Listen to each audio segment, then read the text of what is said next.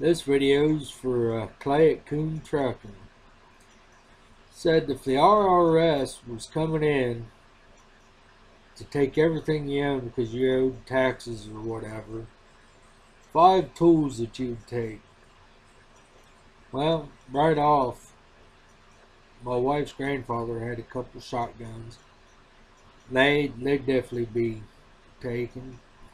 Another three tools would probably be between uh, a couple tools I got of my grandfather's and great grandfather's. I'd definitely grab them tools.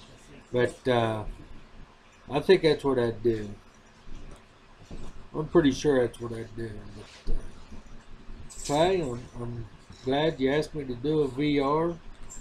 Uh, this is not only VR, but it's also a shout out to your channel.